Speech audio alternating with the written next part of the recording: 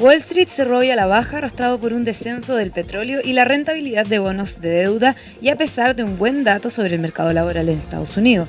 La Bolsa de Santiago terminó este jueves con una importante pérdida, en línea con los mercados internacionales, cayendo de los 4.000 puntos. Entre las acciones que más bajaron estuvieron los títulos de Parque Arauco y Falabella. El dólar cerró al alza luego de cinco jornadas consecutivas de pérdidas. La divisa fue impulsada por la fuerte caída del precio del cobre.